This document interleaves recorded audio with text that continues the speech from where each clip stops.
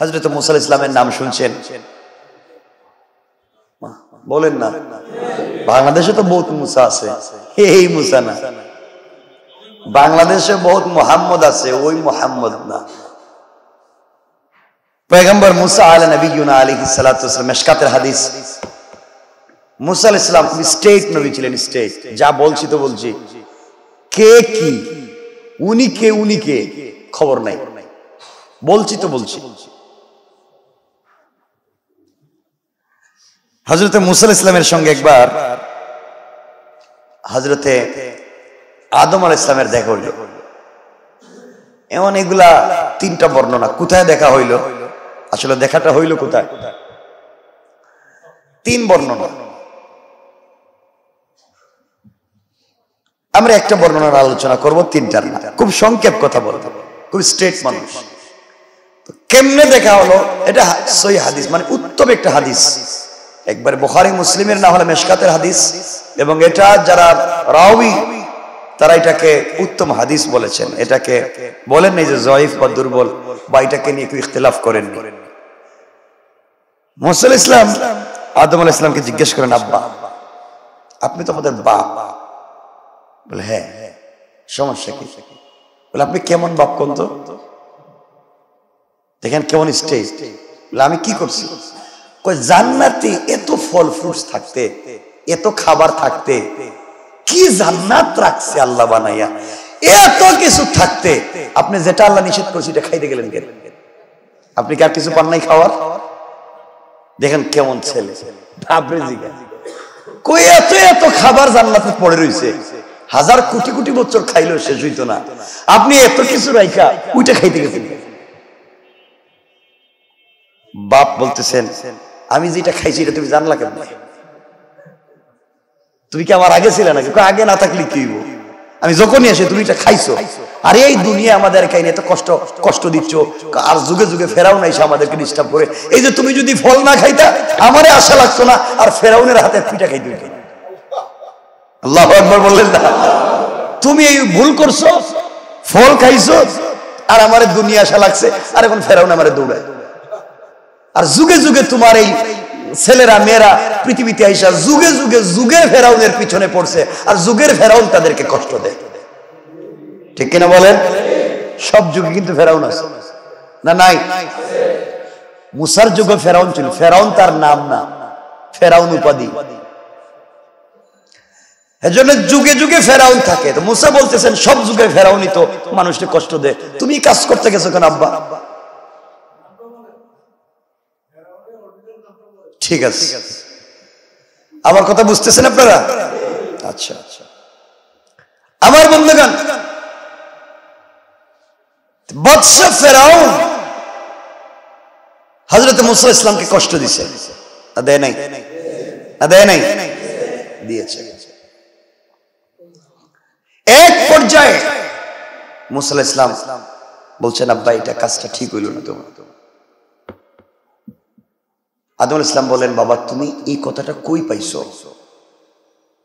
যে আমি এটা খাইছি। কেন পাইবো না? আমি তো তাওরাতে পাইছি। কোথায় পাইছি? আমার কিতাব আমার কাছে নাজিল হয়েছে আমি জানব না কেন? আল্লাহ এখানে লিখে দিছে।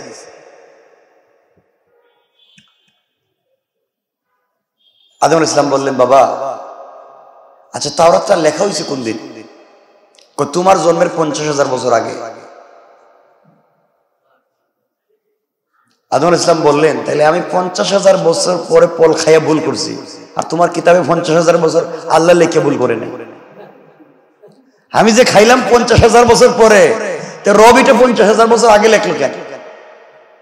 মুসা তাও তো ঠিক চিন্তা করলাম। আদম বলতেন, বাবা, শোনো, ছেলে হইলে এত ভাব দইল না। আমি যদি না খাইতাম তাহলে তুমি নবী হইতাম আর আমার সাথে কথা বলতে পারতাম না। আল্লাহ একবার বললেন না। আমি যদি না খাইতাম, তুমি দুনিয়ায় আসতে পারতা না, নবী মুসাও হইতে পারতাম তো বাবার সব ছেলে কিন্তু সমান হয় না। যারা ওই যে দুই নম্বর ছেলেটারে কি করেন আপনারা? মেজো মেজো। এটা একটু একটু টাইট হয়।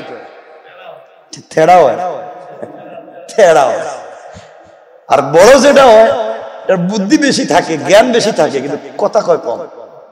ঠিক না? তো মুসা আলাহ ইসলাম হচ্ছেন আদম আল ইসলামের থেরা ছেলে। থেরা থেরা। বাঁকা ছেলে। তো কেমন বাঁকা? দেখেন, কথা কথা চলে আসলো। হজরত রসুল পাক ইসলাম যদি মেয়ারাজে যান, প্রথম আসমানে তো দেখা হইল আদমের সাথে। তো তিনি বললেন, বাবা, আসছো আহলান সাহলান মার হাবান যাও। সব আসমানে দেখা হইল। সব ষষ্ঠ আসমানে গিয়ে মুসার সঙ্গে দেখা। মুসা সালাম দিলেন। দিয়া কথাবার্তা বললেন। রসুল চলে যাইতেছেন। যাওয়ার সময় মুসা ইসলাম আল্লাহর আল্লাহ, এটা কোন ইনসাফ হইল? আমার কত পরে এসে আমার আগে চলে যাইতেছে উপরে? রসুল ইসলাম হজরতে জিবরিল আমিনকে জিজ্ঞেস করছেন, জিব্রাইল, এই কথাটা বলে কে? কত বড় বেয়াদবের মতো কথা বলতেছে। যে আল্লাহর সাথে কথা বলতেছে, যে এত পরে এসে আমার আগে উপরে চলে যায়, আমি এতদিন ধরে যাইতে পারলাম না। জিবরিল আমিন বলছেন, পয়গম্বর, এটা মুসা আপনার ভাই। কথা কি এভাবেই কয়? ওর ভাষাটা এভাবে, এটা আল্লাহ বুঝেন। ওর কথা ধরেন না আল্লাহ।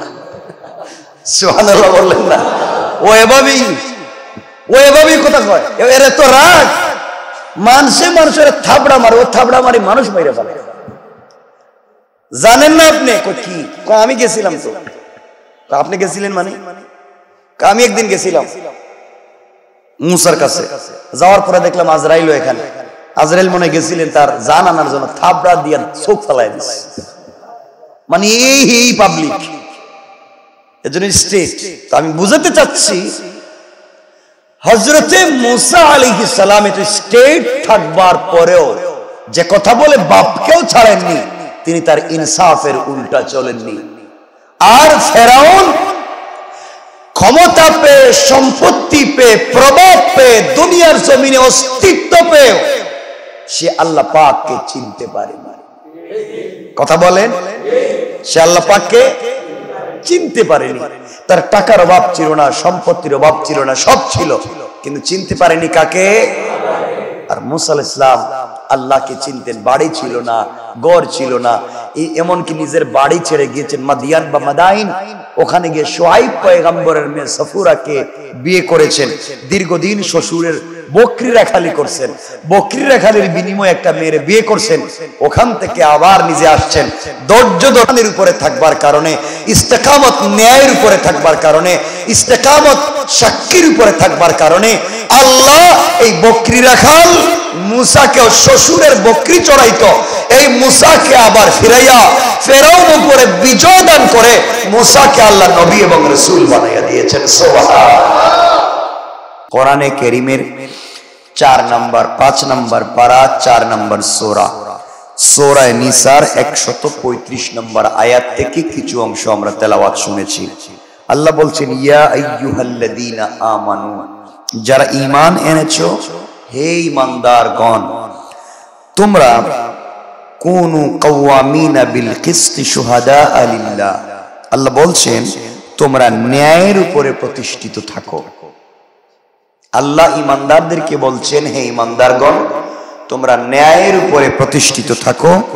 আল্লাহর ওয়াস্তে ন্যায় সঙ্গত সাক্ষ্য দান করো। আল্লাহ বলছেন, লিল্লাহি ওয়ালাউ আলা আনফুসিকুম আবিল ওয়ালিদাইনি ওয়াল আকরাবিন।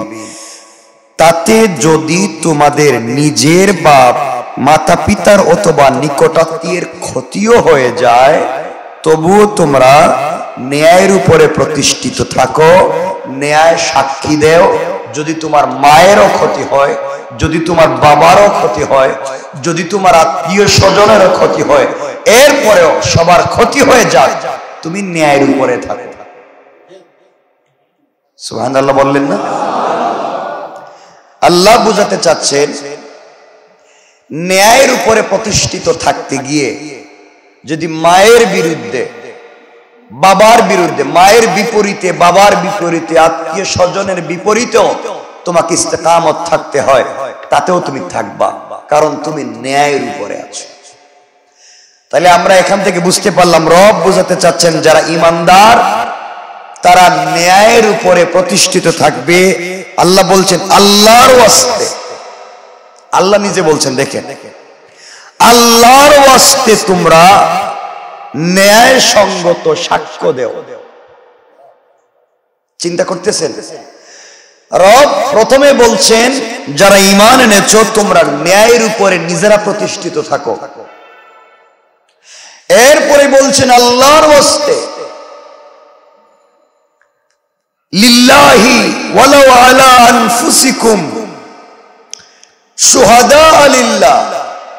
আল্লাহর ওয়াস্তে তোমরা সাক্ষ্য দান করো ন্যায়ের উপরে।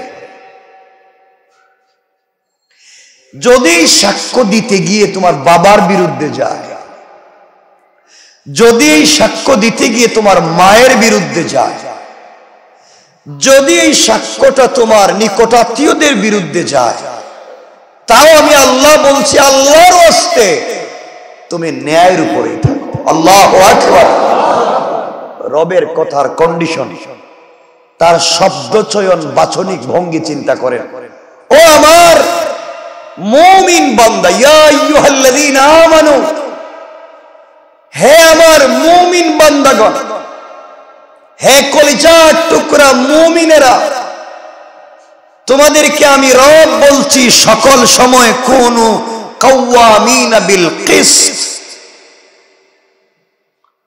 তোমরা সব সময় ইস্তেকামত থাকো ন্যায়ের উপরে। তাইলে যাকে ন্যায় সাক্ষী দেওয়ার কথা বলতেছেন, আগে থাকে নিজে ন্যায়ের উপরে ইস্তেকামত থাকতে বলেছেন। অর্থাৎ তুমি সাক্ষ্য দেওয়ার আগে নিজের ন্যায়ের উপরে প্রতিষ্ঠিত হও। তাইলে আমাদের প্রথম কাজ হচ্ছে ইমানদার হওয়া। প্রথম কাজ বলেন, আবার বলেন, ইমানদার কার নাম? ইমানদার ওই ব্যক্তি যার আকৃতি, যার লেবাস এবং দিলের তাকোয়া এক হবে। আবারও বলছি, ইমানদার ওই ব্যক্তিকে বলা হয় যার বাহ্যিক চরিত্র এবং আর্থিক চরিত্র এক হবে। অর্থাৎ দেখতে যেভাবে আল্লাহওয়ালা মনে হবে, অন্তরের দিক থেকেও সে আল্লাহওয়ালা হবে। এই ব্যক্তি হলো মমিন। আল্লাহ ওই মুমিনকে বলছেন, ও আমার মুমিন বান্দা বান্দিগণ, অবশ্যই তোমরা নিজেরা ন্যায়ের উপরে প্রতিষ্ঠিত থাকো। কিসের উপরে? সবাই বলেন, ন্যায়ের উপরে। আপনাকে ভয় দেখাচ্ছে। আপনার সম্পত্তি কেড়ে নেওয়ার ভয় দেখাচ্ছে। ন্যায়ের উপরে থাকলে আপনার উপরে জুলুম আসবে। ন্যায়ের উপর ইস্তেকামত থাকলে আপনার সমূহ অকল্যাণ হওয়ার সম্ভাবনা আছে। রব বলেছেন, এত কিছুর পরেও যদি তুমি ন্যায়ের উপরে প্রতিষ্ঠিত থাকো, আমি রব কথা দিলাম, তোমার হেফাজতের দায়িত্ব আমি আল্লাহ। তুমি শুধু গ্যারান্টি এতটুকুন দিবা আমাকে যে তুমি ন্যায়ের উপরে থাকবা। আল্লাহ বুঝাতে চাচ্ছেন, বান্দা, তোমার দায়িত্ব হচ্ছে আমাকে এই কথার গ্যারান্টি দেওয়া যে তুমি ন্যায়ের উপরে থাকবে। আমি রব কথা দিলাম, তোমাকে সাপোর্ট দেয়া, সহযোগিতা করে তোমাকে এই জায়গায় রাখবার দায়িত্ব আমি আল্লাহ তাহলে আমরা আজকের থেকে আমাদের কাজ হবে ন্যায়ের উপরে প্রতিষ্ঠিত থাকা। বলেন ইনশাল্লাহ সকল কাজে। আমার খাবার নাই। আমি আমি কখন জানি মরে যাচ্ছি। আমার সামনে অনেকগুলো মাকরু খাবার, হারাম খাবার আছে। আমি জীবন দিয়ে চলে যাব। অস্তিত্ব বিলীন করে দেব। ন্যায়ের উপরে প্রতিষ্ঠিত থাকব আমি, হারাম খাবারে মুখ দিব না। জীবনে চলার পথে আপনাকে অনেক কিছু হাতছানি দিয়ে ডাকবে। অনেক বেআইনি অন্যায় লাইনে টাকা ইনকামের পথ আপনাকে হাতছানি দিয়ে ডাকবে। রব বলেছেন, বান্দা, আমাকে চিন্তা করে, হকের উপরে প্রতিষ্ঠিত থাকো। হারাম পথে যাইও না। হারাম ইনকামে যাইও না। হারাম খেতে যাইও না। হারাম সম্পর্কে জড়িয়ে যাইও না। হারাম কাজে চলে যাইও না। তুমি সকল সময় ইনসাফের উপরে প্রতিষ্ঠিত থাকো। ন্যায়ের উপরে থাকো। বলেছেন কে? এক নম্বর। তাহলে আমরা মূল আলোচ্য হব, প্রথমে হব মুমিন। এখন মুমিন হওয়ার পরে যদি এমন মুমিন নাই, এখানে নাই মনে, আমাদের এখানে না থাকতে পারে, কারণ আমরা সবাই ভালো মানুষ, আমরা ভালো কাজ করি। অনেক মুমিন নাই, নামাজের পরে সুদ খায়। নাই? আপনারা জানেন মনে হয়। না, আপনারা জানেন মনে হয় গত পরশু দিন এক জায়গায় আমি কথা বলতেছি, সুদের ওয়াজ করতেছি। আমার সাবজেক্ট হচ্ছে সুদের সুদের ওয়াজ শুরু করছি, দাঁড়ায় গেছে। কা করতে পারবেন না ওয়াজ। এতটুকুন দাঁড়িয়ে। সাদা দেয় পাঞ্জাবি জুব্বা। কোয়াস করতে পারবেন না। ব্যাপার উনি ছিল ওই কয়েক হাজার লোকের পিছনে ছিল। একবারে আমার কাছে চলে আসছে এখানে। ওয়াজ করা যাবে কেন? সুদ হারাম হবে কেন? চিন্তা করছেন না কিছু? যদি সুদ হারাম হয়, বাংলাদেশের সব মানুষ অমুসলিম একটার ইমান নাই। উনি দাড়িওয়ালা একজন মুরব্বী। তো সুদের কথা বলছি, তাহলে বোঝা গেল শুধু নামাজি মানুষকে আল্লাহ পর্যন্ত পৌঁছাতে পারে না। অনেক মুরব, আমরা অনেক বুজুর্গ আল্লাহওয়ালা আছি, যে নামাজের পরেও পাক্কা মুমিন হতে পারি নাই। কথা বলেন না কেন? এজন্য আল্লাহ বলছেন ইমান আনার পরেও অনেকে হান্ড্রেড পার্সেন্ট ইমানদার হতে পারবে না। এজন্য আল্লাহ বলছেন, ও ইমানদার তোমরা ইমানের উপরে প্রতিষ্ঠিত থাকো। এজন্য আমরা পারব তো ইনশাল্লাহ বলেন ইনশাল্লাহ কিসের উপরে? বলেন না। আবার বলেন। ইমানের উপরে। মিথ্যাকে মিথ্যা বলবেন, সত্যকে সত্য বলবেন। আমরা কোনো কিছু গোপন করব না। আল্লাহ যেন আমাদেরকে কবুল করেন, পড়েন, আমিন। বলেন, আমিন। আমরা পারব তো ইনশাল্লাহ এক নাম্বার, ইমানদার। এক নাম্বার, পাক্কা ইমান। কি ইমান? যে ইমানের ভিতরে বিশৃঙ্খলা নাই, মিথ্যা নাই, আমানতের খেয়ানত নাই, আছে না? আমরা পারব তো ইনশাল্লাহ এক নম্বর। দুই নম্বর হলো, ন্যায়ের উপরে প্রতিষ্ঠিত থাকা। আমরা ন্যায়ের উপরে প্রতিষ্ঠিত থাকব ইনশাল্লাহ আমরা বলি ঠিকই, কেউ রাগ করবেন না। এই যে গেল ফুটবল খেলা যেদিন যে, এই যে কি খেলা, এই বিশ্বকাপ যেদিন গেল, এই ফাইনাল যেদিন গেল যেদিন গেল। অনেক মাদ্রাসার, অনেক বড় বড় তাফসির এদিন হয় নাই। ওয়াজের দিন বহুত হুজুরের জানাই দিয়েছে হুজুর আজকে ওয়াজ হবে না। ওরা আট দশ লাখ টাকা খরচ করছে। ওয়াজ হবে না। কেন? আজকে খেলা। তাইলে খেলার জন্য ওয়াজ বন্ধ। আর অনেক হুজুরদের কি ওয়াজে বলা হয়েছে, হুজুর, নয়টার আগে ওয়াজ শেষ করে দেন। নয়টার পরে ওয়াজ করার দরকার নেই। এর মানে কি? নয়টার পরে খেলা। তাইলে যে ইমানদার খেলার জন্য দিনের মজলিসকে আগে আনতে চায় যে ইমানদার খেলার জন্য ওয়াজ, তফসিরকে বন্ধ করে দিতে চায় আসলে কি এই ইমানদার না কুখ্যাত শয়তান? কুখ্যাত শয়তান এর দুটা কারণ। এক নম্বর হলো, এখন হান্ড্রেড পার্সেন্ট বিশ্বাস করতে হবে, তার ভিতরে আল্লাহকে দিয়ে কোনো ভয় নাই। দু নম্বর, আপনাকে বিশ্বাস করতে হবে, তার ভিতরে রসুলকে নিয়ে কোনো দরদ নাই। যদি রসুলের দরদ থাকতো, ইমানের প্রতি ভালোবাসা থাকতো, আল্লাহর প্রতি ভয় থাকতো এই লোকটা জিন্দগি তো ইসলাম এবং দিনী কাজ বাদ দিয়ে দুনিয়ার কাজে লিপ্ত হতে পারত। এজন্য আল্লাহ বলছেন, যারা ইমান এনেছো কাউয়াম কোন কাউয়ামিনা বিল কিসত।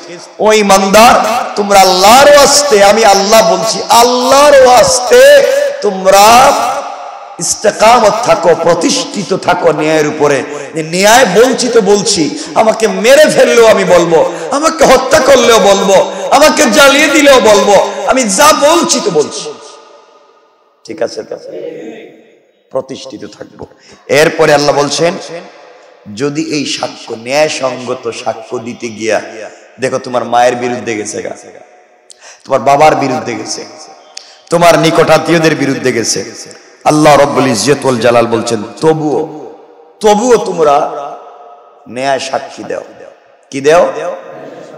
এতটুকু বুঝছেন তো আপনারা? বললেন না। এতটুকু বুঝছেন তো? আচ্ছা এরপরে কি বলছেন দেখেন। আল্লাহ রব্বুল ইজ্জতুল জালালের পরে বলেন ইয়াকুন গানিয়ান আও ফকিরান ফাল্লাহু আউলা বিহিমা। চিন্তা করে এবার আল্লাহ বলছেন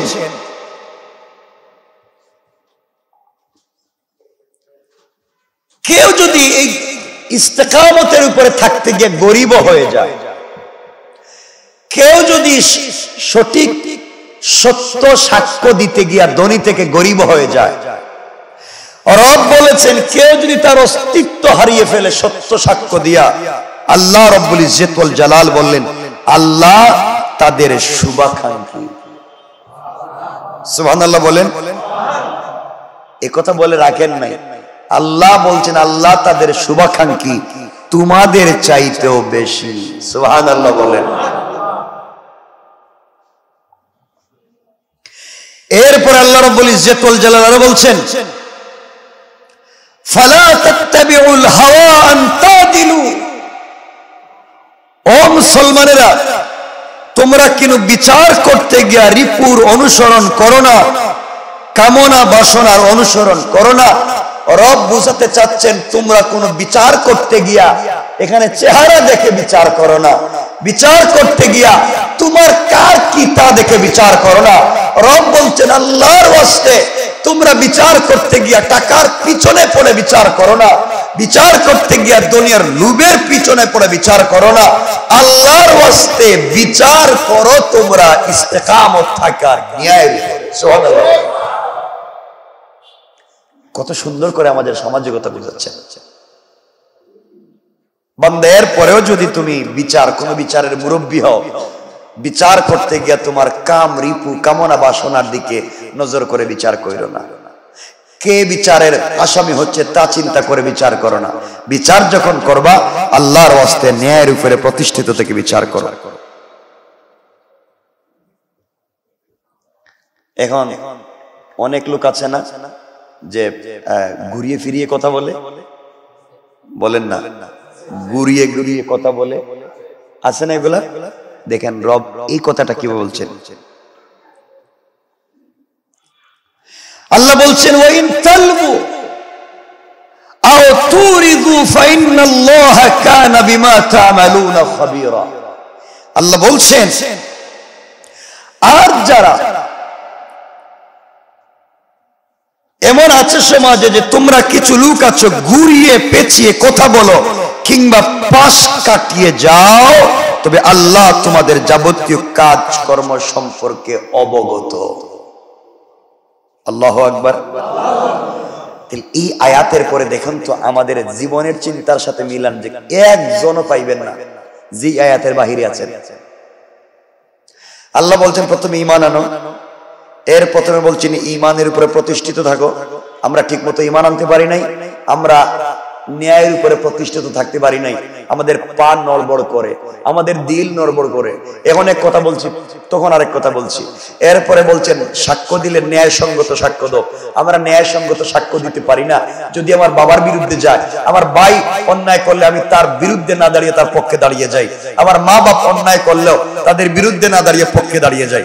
কথা বললেন ঠিক না? এরপর আল্লাহ রব্বুল ইজ্জতুল জালাল বলছেন, যদি কেউ ন্যায়সঙ্গত কথা বলতে গিয়ে যদি গরিব ধনী থেকে গরিব হয়ে যায়, রব বলছেন, তোমাদেরকে সবাই ফেলে দিতে পারে, আমি রব তোমাদের শুভাকাঙ্ক্ষী। রব যদি বলে, আল্লাহ যদি বলে, আমি শুভাকাঙ্ক্ষী, তার কোনো চিন্তা আছে? বলেন, চিন্তা নাই। এরপর আল্লাহ রব্বুল ইজ্জতুল জালাল বলছেন, তোমরা গুড়িয়ে পেয়েছি, কিছু বলো না।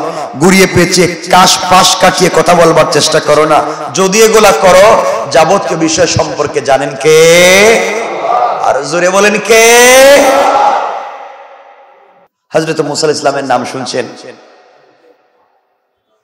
বলেন না। বাংলাদেশে তো বহুত মুসা আছে। এই মুসা না। বাংলাদেশে বহুত মোহাম্মদ আছে, ওই মোহাম্মদ না। পয়গম্বর মুসা আলা নবীনা আলাইহি সালাতু ওয়াসালাম মিশকাতের হাদিস মুসা আলাইহিস সালাম স্টেট নবী ছিলেন স্টেট যা বলছি তো বলছি। কে কি? উনি কে উনি কে? খবর নাই। বলছি তো বলছি। হজরতে মুসাল ইসলামের সঙ্গে একবার হজরতে আদম আল ইসলামের দেখা হইল। এমন এগুলা তিনটা বর্ণনা। কোথায় দেখা হইল? আসলে দেখাটা হইল কোথায়? তিন বর্ণনা।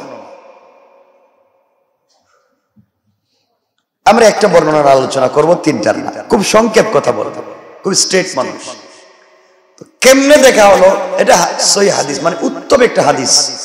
একবারে বোখারি, মুসলিমের না হলে মেশকাতের হাদিস। এবং এটা যারা রাউি তারা এটাকে উত্তম হাদিস বলেছেন। এটাকে বলেন নাই যে জয়ীফ বা দুর্বল, বা এটাকে নিয়ে কেউ ইখতলাফ করেননি। মোসাল ইসলাম, আদম আল ইসলামকে জিজ্ঞেস করেন, আব্বা, আপনি তো আমাদের বাপ। বলে হ্যাঁ সমস্যা কি? বলে, আপনি কেমন বাপ কোন তো? দেখেন কেমন স্টেজ বলে, আমি কি করছি? জান্নাতে এত ফল ফ্রুটস থাকতে, এত খাবার থাকতে, কি জান্নাত রাখছে আল্লাহ বানাইয়া? এত কিছু থাকতে, আপনি যেটা আল্লাহ নিষেধ করছে এটা খাইতে গেলেন কেন? আপনি কি আর কিছু পান নাই খাওয়ার? দেখেন কেমন ছেলে। ভাবরে জিগা কই এত এত খাবার জান্নাতে পড়ে রইছে? হাজার কোটি কোটি বছর খাইলেও শেষ হইতো না। আপনি এত কিছু রাইখা ওইটা খাইতে গেছেন বাপ বলতেছেন আমি যেটা খাইছি এটা তুমি জানলা কেন তুমি কি আমার আগে ছিলে নাকি? আগে না থাকলে কি হইব? আমি যখনই আসি তুমি এটা খাইছো, আর এই দুনিয়া আমাদের কাহিনী এত কষ্ট কষ্ট দিচ্ছ আর যুগে যুগে ফেরাও নাই আমাদেরকে ডিস্টার্ব করে? এই যে তুমি যদি ফল না খাইতা, আমারে আশা লাগতো না, আর ফেরাউনের হাতে পিঠা খাইতে হইতো। আল্লাহ একবার বললেন না। তুমি এই ভুল করছ, ফল খাইছো, আর আমার দুনিয়া আশা লাগছে, আর এখন ফেরাউন আমারে দৌড়ায়। আর যুগে যুগে তোমার এই ছেলেরা, মেয়েরা পৃথিবীতে আইসা যুগে যুগে যুগের ফেরাউনের পিছনে পড়ছে আর যুগের ফেরাউন তাদেরকে কষ্ট দেয়। ঠিক কিনা বলেন? সব যুগে কিন্তু ফেরাউন আছে। না, নাই? মুসার যুগে ফেরাউন ছিল। ফেরাউন তার নাম না। ফেরাউন উপাধি। এজন্য যুগে যুগে ফেরাউন থাকে। তো মুসা বলতেছেন, সব যুগে ফেরাউনই তো মানুষকে কষ্ট দেয়। তুমি কাজ করতে গেছো কেন, আব্বা? ঠিক আছে। আমার কথা বুঝতেছেন আপনারা? আচ্ছা। আচ্ছা আমার বন্ধুগান বৎসা ফেরাউন হজরত মুসা ইসলামকে কষ্ট দিছে। না দেয় নাই? না দেয় নাই? দিয়েছে। এক পর্যায়ে মুসাল ইসলাম বলছেন আব্বা এটা কাজটা ঠিক হইল না তোমার। আদম ইসলাম বলেন, বাবা, তুমি এই কথাটা কই পাইছো? যে আমি এটা খাইছি। কেন পাইমো না? আমি তো তাওরাতে পাইছি। কোথায় পাইছি? আমার কিতাব আমার কাছে নাজিল হয়েছে আমি জানব না কেন? আল্লাহ এখানে লিখে দিছে।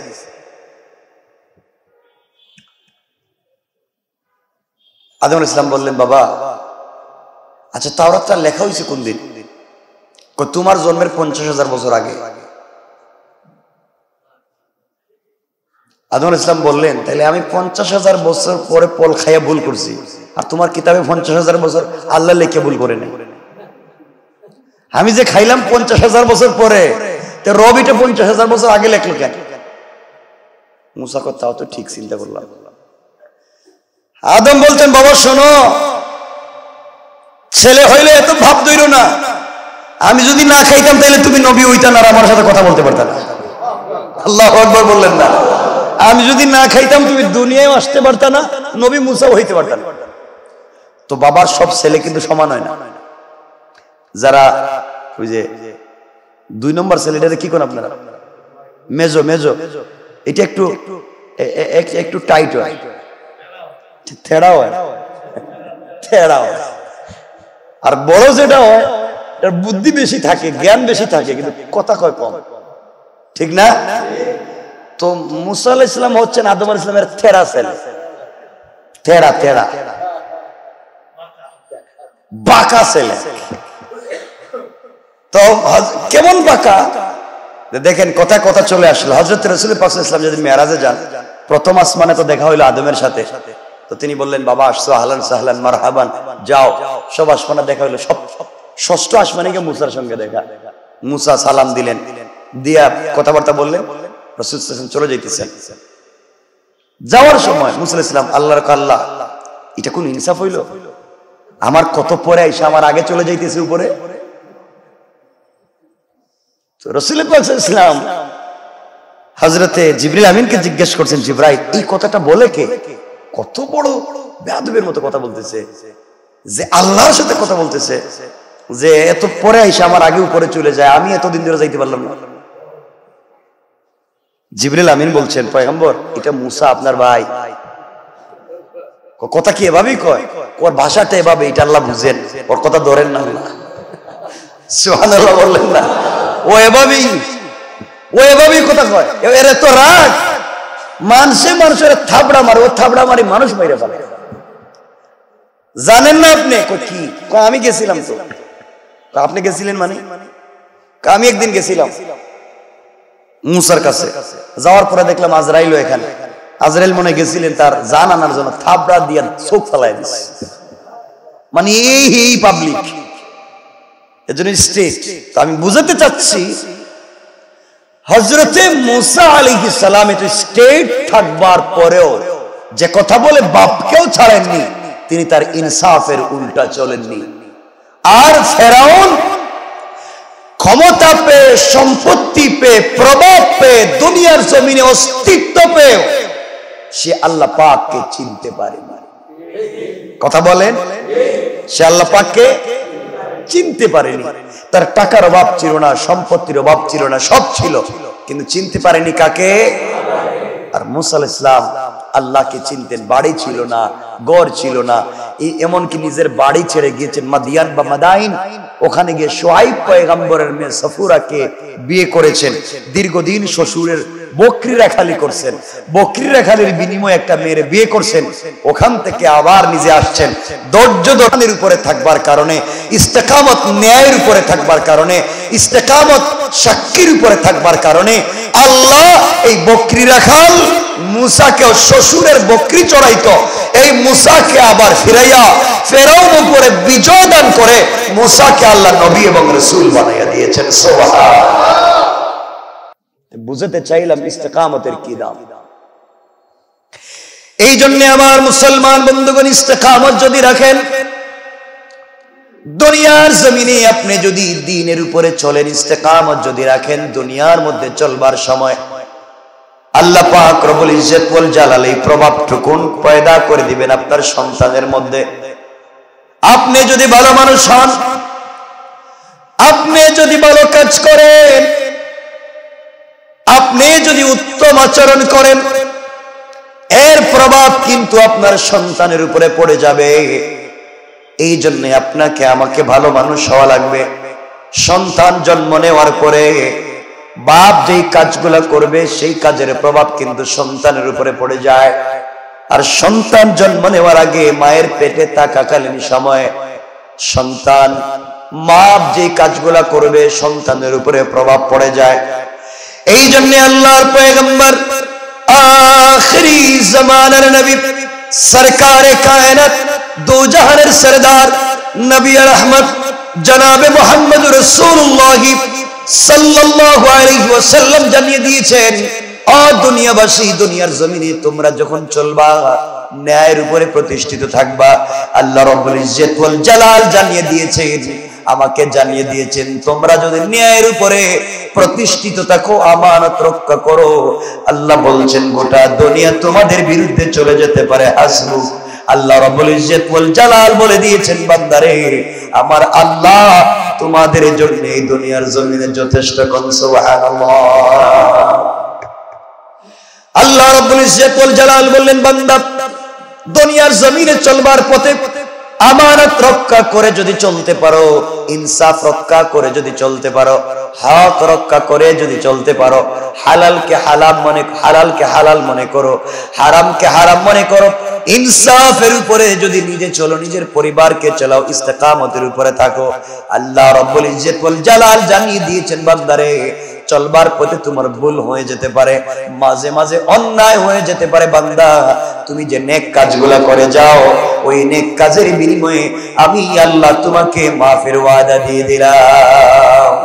এই জন্য আমার বন্ধুগণ জীবনে যত ভালো কাজ করেন, আমি অনেকবার বলে দিয়েছি, ছোট্ট একটা আমল, ছোট্ট এক সেকেন্ডের একটা আমল হলেও আপনি স্পেশালি করবেন।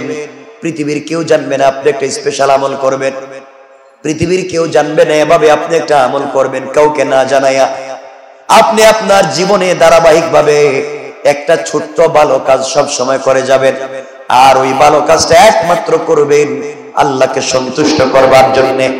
আল্লাহ জালাল বলছেন, বান্দা, যখন আমার কোন বান্দা শুধুমাত্র কেবলমাত্র আমি আল্লাহকে সন্তুষ্ট করবার জন্য ছোট্ট থেকে ছোট্ট কোন নেক আমল করবে একমাত্র আমি আল্লাহর জন্য। আর এই আমলের পরে যদি আমার বান্দা হাত উঠাইয়া দোয়া করে, বান্দা হাত উঠাবার আগে আগে তার দিলের সব মাকাসিদ গুলাকে আমি আল্লাহ পুরা করে দেই, পড়েন এজন্য আমরা এখানে যারা আছি, আমরা চাইলে ছোট্ট থেকে ছোট্ট একটা নেক আমল করতে পারি। না পারি না। ছোট কোন নেক আমল আমরা করতে পারি। এই জন্য চব্বিশ ঘণ্টার ভিতরে চিন্তা করবেন, ও বান্দা, ও ভাই, আপনাকে বলতেছি, আবার শোনেন আবার শোনেন, দুনিয়ার জমিনে কেউ থাকব না, সবাই কবরে চলে যাব, যাওয়ার সময় নিয়ে যাওয়ার মতো করে দুনিয়ার জমিনে কিছুই নাই, এই দুনিয়ার থেকে নিয়ে যাওয়ার মতো কিছুই নাই, শুধুমাত্র কেবলমাত্র আপনাকে, আমাকে দুনিয়ার জমিন থেকে খালি হাতে বিদায় নিতে হবে, দুনিয়ার জমিনে কিছু নিকামল করে যেতে হবে। নেক আমল যদি করে যাই, এই আমলগুলা আমাকে আপনাকে কেয়ামতের দিন বাছাইয়া দিবে। আল্লাহ জালাল বলছেন, বান্দারে, কেউ হাজার শত কোটি টাকা দান করে হয়তো আমাকে সন্তুষ্ট করতে পারবে না। কিন্তু বান্দা, তোমার সরিষার দানা পরিমাণ আমলের মাধ্যমে আমি আল্লাহ খুশি হয়ে যেতে পারি, কোন ঠিক না?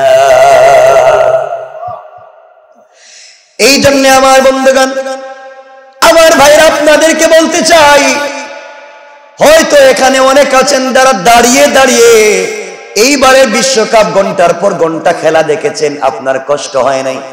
আপনার দুটা পা জড়াইয়া বলে দিলাম, আপনি দুনিয়ার সাধারণ খেলা দেখবার জন্য ঘণ্টার পর ঘণ্টা দাঁড়িয়ে থাকতে পারলেন।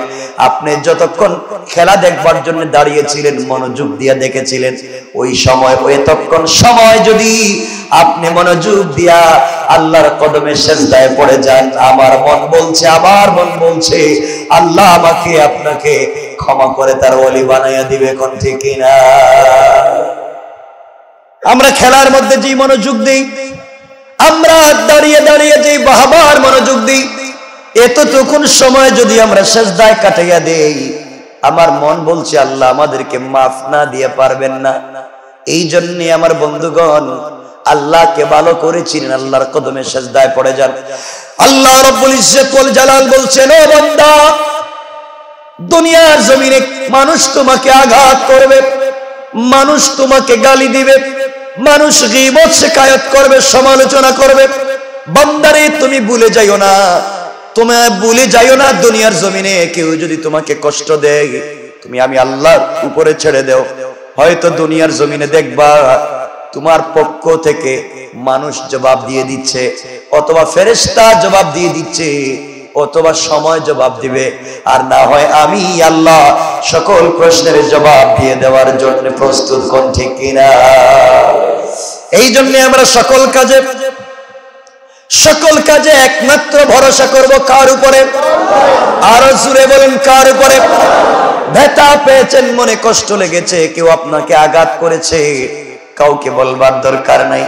হাসি মুখে চলে যান, গভীর রাত্রে আল্লাহর কদমে সেজদায় পড়ে যান। আল্লাহ বলেছেন, বান্দারে দুনিয়ার মানুষ ঘুমিয়ে গিয়েছে। তুমি এখন পর্যন্ত ঘুমাওনি। আল্লাহ, আমি তো ঘুমাই না তোমার সঙ্গে কথা বলার জন্য। আমার মনের ব্যথা বলবার মতো জায়গা তো আর কোথাও নাই। কেউ আমার কথা গুলা শুনবে না। এই জন্যে আমি গভীর রাত্রে তোমাকে বলতে চাই। আল্লাহ রব্বুল ইজ্জতুল জালাল বললেন, বান্দা তুমি আমাকে বলবা, আমি কথা দিলাম কথা দিলাম।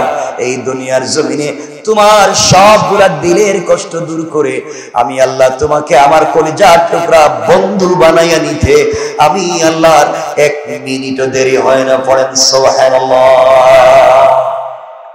এই জন্য আমার মুসলমান বন্ধুগণ, দুনিয়ার জমিনে আল্লাহর হস্তে আবার বলছি, আপনি আপনার সন্তানদেরকে নিয়া দুনিয়ার মার্কেটে ঘুরতে যান, পৃথিবীর সব জায়গায় ঘুরতে যান। হলিডেতে আপনি পৃথিবীর কত জায়গায় বাচ্চাদের স্কুল বন্ধ ঘুরতে নিয়ে যান? কেন আপনি বাচ্চাদেরকে মসজিদ নিয়ে আসেন না, নামাজ পড়তে নিয়ে আসেন না? মুরব্বী, ও কলিজার টুকরা, অভিভাবক, আপনি কেন আপনার সন্তানদেরকে আল্লাহর গড় চিনাচ্ছেন না? আপনি কেন কাছে বসে আপনার বাচ্চার সঙ্গে রসুলের জিন্দগির গল্প করতেছেন না? আমার শিশু নবী কেমন ছিলেন? আপনি কেন আপনার বাচ্চাদেরকে বলতেছেন না? সাহাবাই কেরাম কেমন ছিলেন? আপনি কেন আপনার বাচ্চাদেরকে বলতেছেন না? আপনার বাচ্চার দিলের ভিতরে মনে রাখবেন, আল্লাহ রব্বুল ইজ্জত জালাল বলে দিয়েছেন, আপনি আপনার বাচ্চার ভিতরে একজনের চরিত্র ঢুকাইয়া দেন। তিনি হলেন মোহাম্মদুর রসুল্লাহ আল্লাহ বলেন, এই পৃথিবীতে গোটা পৃথিবীর মানুষের উত্তম চরিত্র একত্রিত করলে যা হবে, তার চাইতে আমার নবীর চরিত্র শ্রেষ্ঠ কোন? সুবহানাল্লাহ। আল্লাহ রব্বুল ইজ্জত জালাল বললেন, সকল নবীদের শ্রেষ্ঠ গুণ যা আছে সকল রসুলদের উত্তম চরিত্র যা আছে, তা একত্রিত করে আমার নবীর চরিত্র একত্রিত করেছি। তোমরা সেই নবীর চরিত্রকে গ্রহণ করো। এই জন্যে বন্ধুগণ ভালো করে মনে রাখবেন, কাউকে আঘাত করে, কাউকে পিটাইয়া জবরদস্তি করে দিন শিখানো যাবে না। আমি আপনাদেরকে, আপনারা আমাকে পিটাইলে দিন শিখাতে পারবেন না। পিটিয়ে পিটিয়ে মেরে ফেলতে পারবেন, দিন বুঝাতে পারবেন না। এই জন্যে কেউ কাউকে হেদায়ত দিতে পারবে না।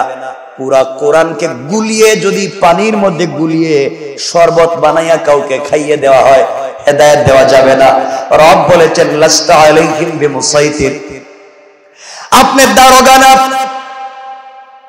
আপনি এমন কেউ না যে কাউকে পিটিয়ে হেদায়ত দিবেন। তাইলে বুঝা গেল কাউকে ভয় দেখাইয়া, কাউকে পিটাইয়া দুনিয়ার জমিনে হেদায়ত দেওয়া যাবে না। আবার আল্লাহ বলেছেন, আপনি এমন কোন প্রেমিক না যে প্রেম, ভালোবাসা দিয়ে, মোহাব্বত দিয়ে হেদায়ত দিতে পারবেন। আল্লাহ বলছেন ইন্নাকালা তাহদিমান আহবাবতা। আপনি ভালোবাসলেই কাউকে হেদায়ত দিতে পারবেন না। তাহলে আমার, আপনার কাজ হলো বুঝাইয়া দেওয়া। আর হেদায়াতের একমাত্র মালিক হলেন আল্লাহ। হেদায়তের মালিক কে? আরও জোরে বলেন কে? এজন্য হেদায়েতের পথে আমাদেরকে চলে লাগবে। এই দুনিয়ার জমিনে একজন বুজুর্গ আল্লাহর ওলি, আব্দুল কাদের জেলানি রহমতুল্লাহ আলাই দুনিয়ার জমিনে মানুষ নাম চিনে নাই, নাম শুনে নাই, এমন মানুষ বড় কম পাওয়া যাবে। আব্দুল কাদের জিলানি রহমতুল্লাহ আলাই যখন আস্তে আস্তে চার পাঁচ বৎসরের হয়ে গেলেন, একটু একটু বড় হয়ে গেলেন আব্দুল কাদের জিলানি রহমতুল্লাহ আলাইহের মার ইচ্ছা ছিল, আমার সন্তানটা কোরআনের হাফেজ হবে, আমার সন্তানটা ভালো মানুষ হবে, আমার সন্তানটা আল্লাহওয়ালা হবে, আমার সন্তানটা আল্লাহকে চিনবে। এই জন্য আব্দুল কাদের জিলানি রহমতুল্লাহ আলাইহের মা আব্দুল কাদের জিলানি রহমতুল্লাহ আলাইকে সঙ্গে নিলেন। পৌঁছে গেলেন, একটা মক্তবে পৌঁছে গেলেন। মক্তবে গিয়ে মক্তবের টিচারকে বললেন, হুজুরকে বলেন উস্তাদজি, আমি আপনার কাছে আমার বাচ্চাটাকে আমানত দিয়ে গেলাম। আপনি আমার বাচ্চাটাকে হাফেজে কোরআন বানাই আমার কাছে পাঠাবেন। এর আগে আমার বাচ্চাকে পাঠাবেন না, চার, পাঁচ, ছয় বছর বয়স হয়ে গিয়েছে। আজ অব্দি আমি আমার বাচ্চাটাকে কোনো জায়গায় পড়তে দেই নাই। কোন উস্তাদের কাছে আমি আমার বাচ্চাটাকে পাঠাই নাই। আপনার কাছে পাঠিয়ে দিয়েছি। এটাই আমার বাচ্চার প্রথম আনুষ্ঠানিক শিক্ষা। আপনি আমার বাচ্চাটাকে হাফেজ বানাইয়া দেন। এই কথা বলে মা আব্দুল কাদের জেলানি রহমতুল্লাহ আলাইহিকে উস্তাদের কাছে রেখে তিনি চলে গেলেন। উস্তাদ আব্দুল কাদের জেলানির চেহারার দিকে তাকালেন। খুব শান্ত শিষ্ট একটা বালক। দেখতে তো খুব শান্ত মনে হয়, খুব ভালো মনে হয়। তিনি বললেন, বাবা, তুমি কি কোরআনের হাফেজ হতে চাও? ছোট্ট আব্দুল কাদের জিলানি বলছেন, হুজুর, আমার মায়ের বড় আশা, আমি হাফেজ কোরআন হব। এমন সময় উস্তাদ বললেন, তুমি পড়ো। আউযু রহমানির রহিম। আলহামদুলিল্লাহি রাব্বিল আলামিন। এইভাবে তিনি পড়াতে লাগলেন। দীর্ঘক্ষণ আব্দুল কাদের জেলানিকে সোরায় ফাতেহা মস্ক করালেন। দীর্ঘক্ষণ আব্দুল কাদের জেলানিকে সোরায় ফাতেহা মাস্ক দেওয়ার পরে দীর্ঘক্ষণ বলবার পরে এবার আব্দুল কাদের জেলানি রহমতুল্লাহ আলাইহিকে উস্তাদ বলছেন, বাবা, তুমি কয় আয়াত মুখস্থ করতে পেরেছ? একটু পড়ো দেখি। এবার আব্দুল কাদের জেলানি উস্তাদের সামনে বসলেন। আউযুবিল্লাহ বলে শুরু করলেন। আউযু বিল্লাহি মিনাশ শাইতানির রাজীম। বিসমিল্লাহির রহমানির রহিম। আলামিন। এই বলে তেলাওয়াত শুরু করলেন। তেলাওয়াত করতে করতে করতে করতে সূরা ফাতিহা শেষ করলেন। সূরা ফাতিহা শেষ করে আর তেলাওয়াত বন্ধ করে না। বিসমিল্লাহির রহমানির রহিম বলে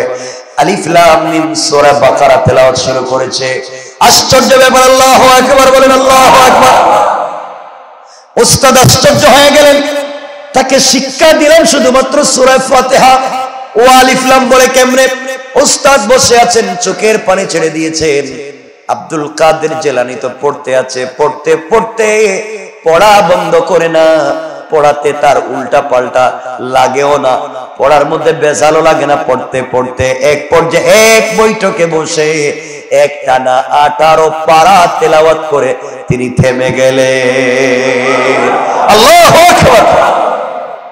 ওস্তাদ আব্দুল কাদের জেলানিকে জড়িয়ে ধরলেন, চোখের পানি ছেড়ে দিলেন, আর ডাক দিয়ে বলেন, বাবারে, আমি তোমাকে শুধুমাত্র কেবলমাত্র সুরা ফাতেহাটা পড়ালাম। তুমি কেমনে আঠারো পড়া পড়লে? তোমার মা তো মিথ্যা কথা বলেছে। মা বলেছে, তুমি কোন মাদ্রাসায় আগে ভর্তি হও নাই। আর আমি দেখতেছি তুমি আগে আঠারো পড়া পড়ে এখানে এসেছ। আব্দুল কাদের জেলানি রহমতুল্লাহ আলাইহি জবাব দিলেন না। এক পর্যায়ে উস্তাদ মাকে খবর দিলেন। মাকে খবর দেওয়া হলো। উস্তাদের সামনে হাজির করা হলো। উস্তাদ ডাক দিয়ে বলছেন আপনি বলেছেন আপনার সন্তানকে কোনোদিন কোন মাদ্রাসায় ভর্তি করলেন না। অথচ আপনার সন্তান আঠারো পারা আমার সামনে বসে বসে মুখস্থ হাফেজ। সে আমাকে শোনাইয়া দিল থেকে শুনলো। এবার মা চোখের পানি ছেড়ে দিয়া উপর দিকে দুটা হাত উঠে শুক্রিয়া দেয় করে। আব্দুল কাদের জেলানিকে জড়াইয়া কপালে চুম্বন করে। ওস্তাদকে ডাক দিয়ে বলেন উস্তাদ সত্যি করে বলছি, আমার সন্তানকে কোন মাদ্রাসায় আজকের আগে আমি কোনোদিন পড়াইনি। কোন হুজুরের কাছে আমি আমার বাচ্চাটাকে নিয়ে যাইনি। তাহলে আপনার বাচ্চা কেমনে আঠারো পাড়ার হাফেজ হয়ে গেল?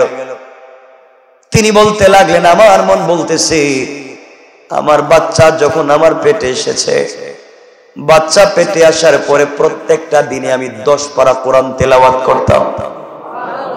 সোহান আল্লাহ বললেন প্রতিদিন আমি দশ পারা কোরআন তেলাওয়াত করতাম।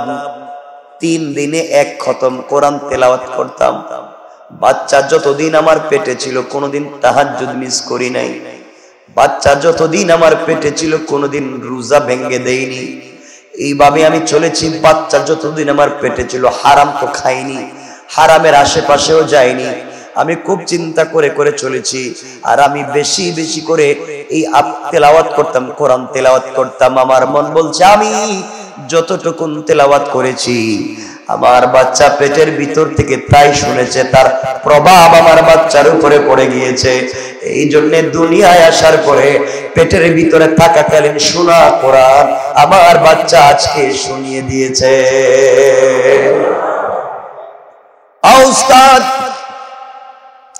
আমার সন্তান যখন জন্ম নিয়েছে, আমার সন্তান আমার কাছে যখন কান্না করে দুধ পান করত, কান্না করতো দুধ পানের জন্য আমি অজু করতাম। অজু করে দুই রাকাত নামাজ পড়তাম, এরপরে আমার বাচ্চার মুখে দুধ দিতাম।